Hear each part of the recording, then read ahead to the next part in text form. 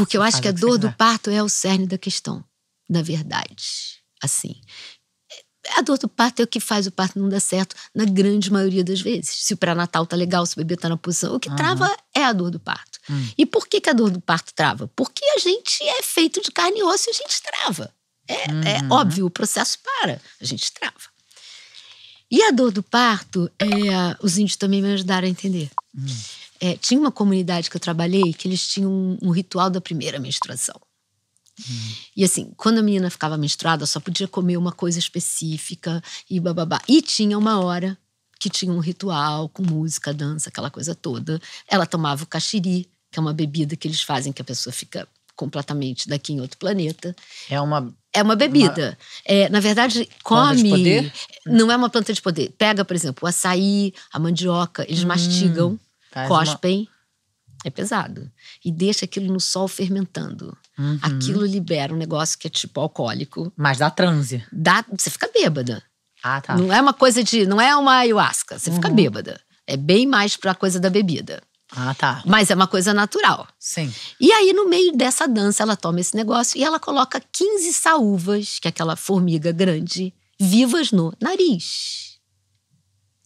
Sim. Isso me parece uma insanidade. Sim, uma tortura uma, pra uma gente. coisa de falar, caraca, o que, que é isso?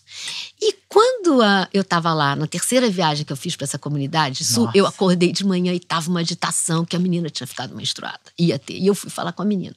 Uma menininha de 12 anos, aquele cabelinho, aquela coisa, né? E eu falei pra ela, caraca, mas isso vai doer muito, não sei o quê. E ela disse, vai doer muito, mas eu tô pronta pra ser mãe! Eu tô pronta pra ser mãe! Uhum. Então, assim, vai doer muito.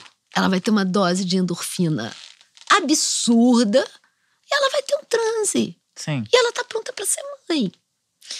É uma relação com a dor, com a Sim. endorfina. É outra. A gente se desacostumou a sentir qualquer coisa, né, Lu?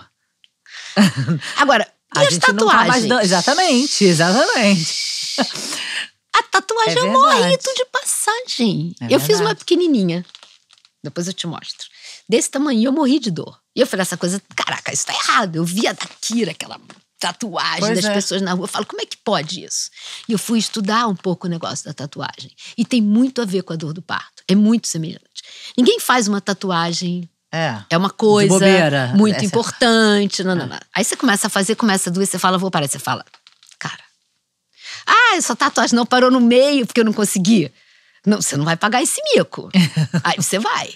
Aí, bababá, babá. E quando acaba, você fala, caraca, eu dei conta, que lindo. E muito provavelmente, dependendo do quanto você ficou, você produziu um grau de endorfina que você foi para um outro estágio de consciência. É, é claro. Senta direito, garota.